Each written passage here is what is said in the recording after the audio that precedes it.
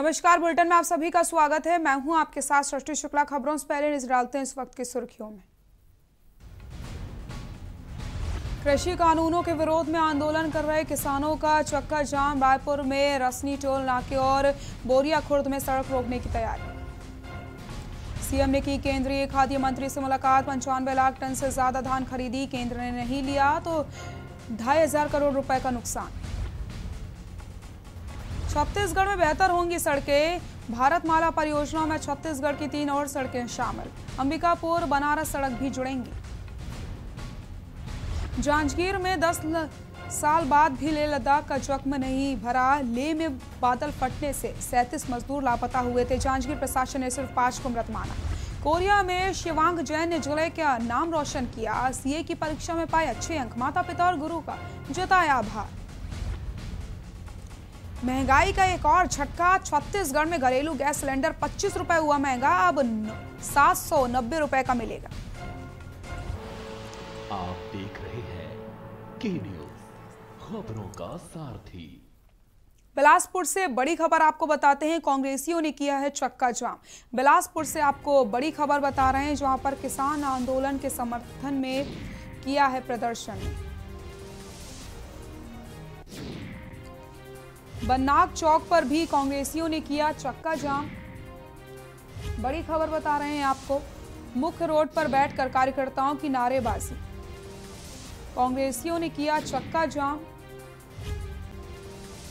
किसान आंदोलन के समर्थन में किया प्रदर्शन। बन्नाक चौक पर भी कांग्रेसियों ने किया चक्का जाम। इमरजेंसी वाहनों को आवागमन के लिए छूट दी गई है।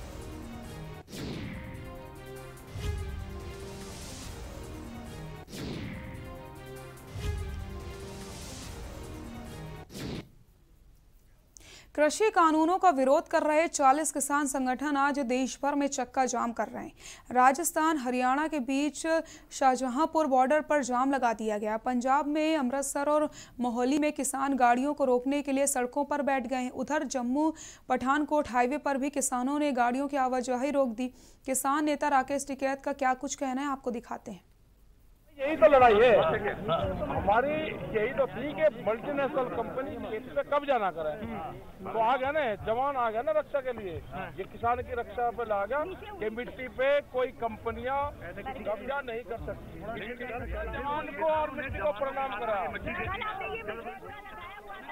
हैं आपने खेत सुबह मेरे देश का खेत सुरक्षित रहेगा लेकिन आपके खेत के आगे तो एक और बैरिकेडिंग लगानी चाहिए कोई नहीं वो सुरक्षा कर रहे हैं उसकी मिट्टी की सुरक्षा आज के दो राज्य हैं वहाँ पे प्रदर्शन आप लोग वहाँ पे कुछ इस तरह के हमको सूचनाएँ मिली। कि तिरंगा और किसान संगठन का एक झंडा लगा रहे हैं कुछ लोग। कर रहे हैं। उसकी पुख्ता हमारे पास में सबूत वगैरह मिला हमने है। जहाँ पे हमको दिक्कत लगती थी कि यहाँ पे कुछ वो हो सकते हैं वहाँ का प्रोग्राम हमने स्थगित कर दिया। जहाँ जहाँ होगा धन्यवाद। पूरे देश का।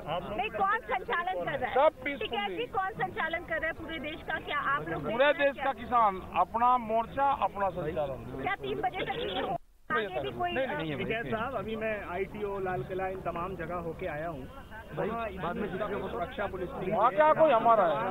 उनका कहना ये है। सवाल सुन लें। उनका कहना ये है कि किसान और उनके बीच जो उपद्रवी है वो कुछ भी कर सकते हैं। हम इसलिए अपनी तरफ़ से इस बार कोई चूक नहीं करेंगे। कैसा मेट्रो हाँ हट जाओ ना जिस दिन का हो गया हटो। कैसा कैसा एक दर्जन मेट्रो स्टेशन बंद किए गए हैं दिल्ली में।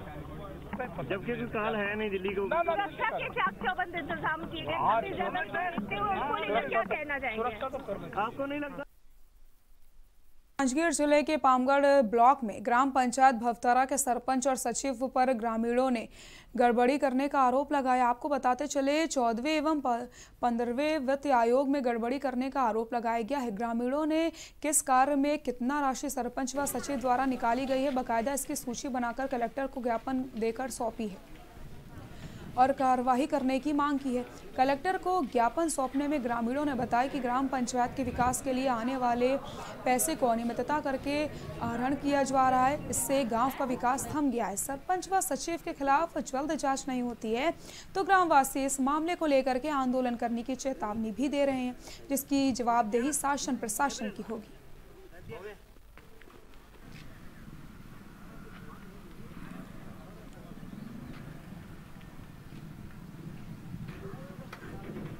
हमारे गाँव के ग्राम पंचायत भौतरा विकासखंड पामगढ़ से हम लोग आए हैं और हमारे गाँव में सरपंच सचिव द्वारा चौदह और पंद्रह वित्त में भारी अनियमितता की गई है, जिसके जिस शिकायत लेकर अपन लोग कलेक्टर महोदय के पास पहुँचे थे।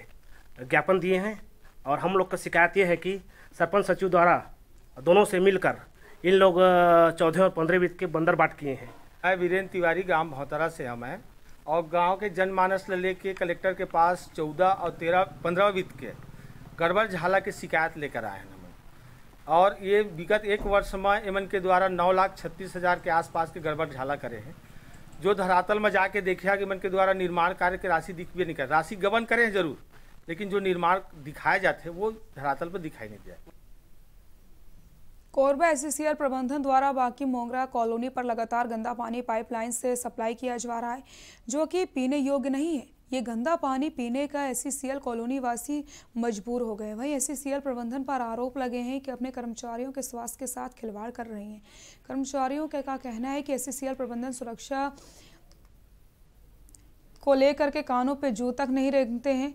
इसके बावजूद भी एस प्रबंधन के द्वारा लगातार गंदा पानी दिया जा रहा है, जिससे सभी कर्मचारी कॉलोनी वासी परेशान है। गंदा पानी पीने की वजह से आए दिन बीमारियों का सामना करना पड़ रहा है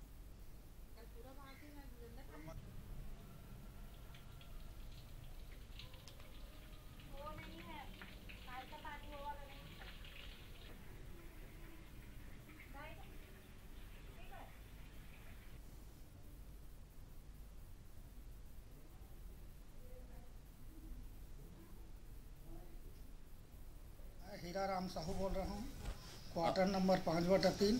साहू जी देखा जा रहा है कि एससीएल कॉलोनी में लगातार गंदा पानी पीने योग्य नहीं है हाँ, बार बार सप्लाई पूरा। गंदा आदमी बीमार पड़ रहा है गंदा पानी पिया पिया करके से तो इसके बारे में शिकायत करते हैं तो क्या कहते हैं?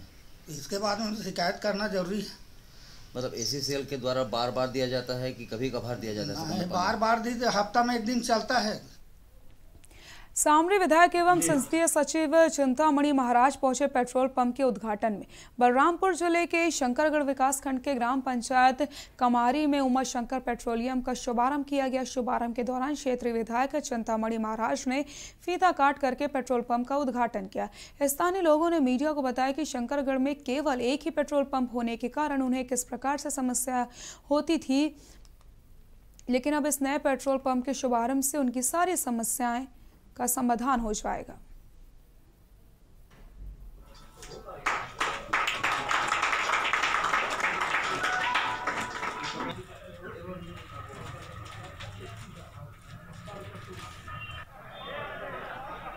रामपुर रामानुगंज ज़िले के विकासखंड शंकरगढ़ के ग्राम पंचायत कमारी में उमाशंकर पेट्रोलियम यहाँ आज शुभारंभ, पाँच तारीख को, पाँच फरवरी 2021 को आज प्रारंभ हुआ। माननीय श्री चिंतामणि महाराज के कर कमलों से यह उद्घाटन हुआ।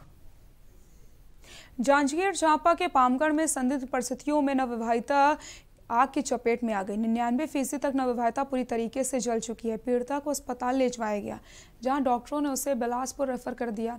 उसके इलाज के दौरान मौत हो गई। वहीं पुलिस भी जाँच में जुट गई है। पुलिस ने मृतका के परिजनों का बयान लिया है। अभी तक पुलिस को पता नहीं चल पाया कि नवविवाहिता आग की चपेट में कैसे आई है।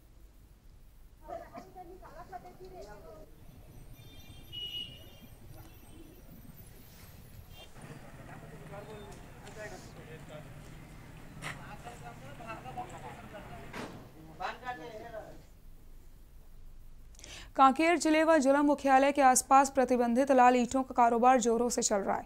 पर खनिज विभाग मात्र अपनी खाना पूर्ति की कार्रवाई में ही लगा हुआ है, जिसकी पुष्टि इसी बात से हो जाती है कि फ्लाइस ब्रिक्स के कारोबारी लगातार लाल ईंटों के कारोबार पर प्रतिबंध लगाने और अपनी गुहार संबंधित विभाग और प्रशासन पर मुख्यमंत्री तक लगा चुके हैं। लेकिन खनिज विभाग इस अवैध कारोबार के बड़े कारोबार पर कार्रवाई करने से आखिर क्यों खौफ खा रही है? खाना पूर्ति के नाम पर से मात्र सिर्फ़ छोटे कारोबारियों पर ही क्यों खनिज विभाग की कार्रवाई सीमित रह गई है? जबकि इन प्रतिबंधित लाल ईटों का ज़िले में सबसे बड़ा कारोबार जिला मुख्यालय से महज तीन किलोमीटर की दूरी पर ग्राम दशपुर में धरल्ले से किया जा रहा है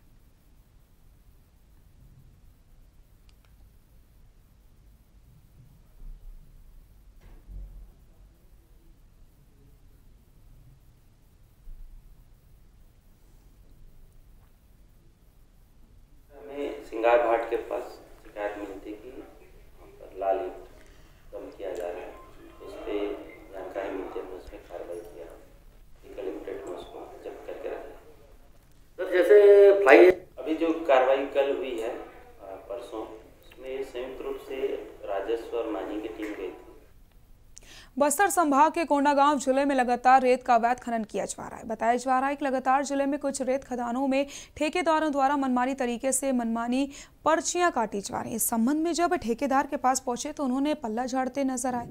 लगातार इस तरह के मामलों की वजह से नगर में निर्माण करने के लिए रेत के दाम में वृद्धि हो जाती है। जो रेत नगर में पहले 700 से 800 में मिल जाती थी, आज वही रेत 2000 से 2500 में मिल रही है। साथ ही साथ ठेकेदार का एक वॉइस रिकॉर्डिंग भी वायरल हुआ है। हालाँकि अब तक ठेकेदार पर किसी प्रकार की कोई कार्रवाई हुई नहीं है। इसी मुद्दे पर कोंडागांव डिप्टी कलेक्टर गौतम पाटिल ने बताया कि इसकी जानकारी कलेक्टर जी को दे दी गई है। जल्द से जल्द कार्रवाई की जाएगी।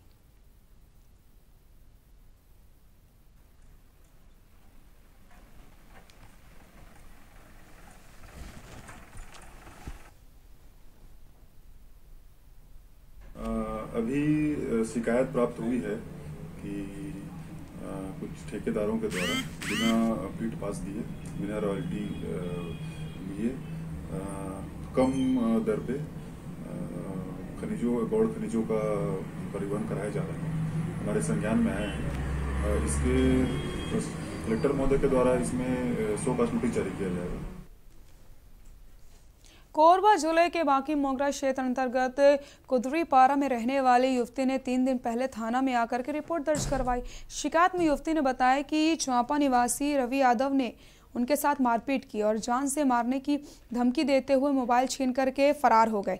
जहाँ बाकी मोगरा थाना प्रभारी रामेंद्र सिंह ने मामले को गंभीरता से लेते हुए आरोपी युवक रवि यादव का मनोबल मोबाइल नंबर साइबर सेल भेज करके पता लगाने की कोशिश की, जिसके बाद युवक को गिरफ़्तार करके जेल भेज दिया गया।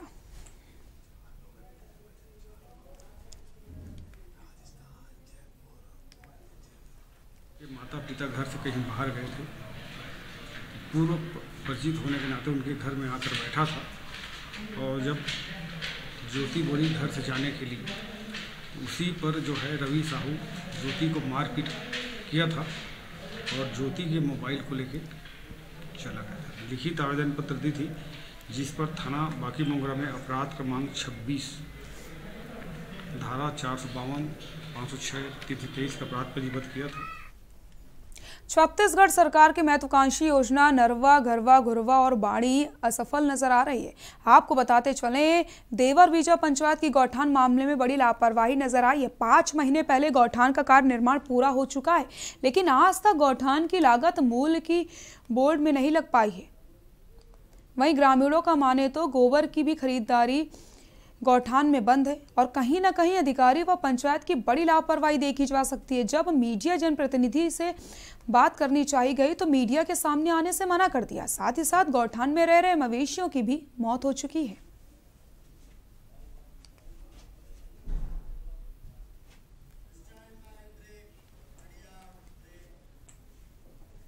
यहाँ रुकते हैं छोटे से ब्रेक के लिए। जल्द हाजिर होते हैं।